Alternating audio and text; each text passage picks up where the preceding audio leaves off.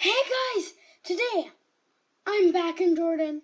I'm back in my office. I'm back in a good connection. Because of that, today's the last day of holiday. Tomorrow's gonna be school, so don't think I'm gonna do a lot of videos then. That's a problem. But at least I still have holidays. I'll try to do some videos.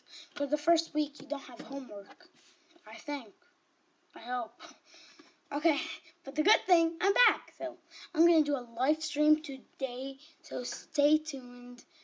And it's gonna be a shout out live stream. It's gonna be full of shout outs. Not because I have 200 subscribers. I have a lot of people chat. So, a lot. so guys.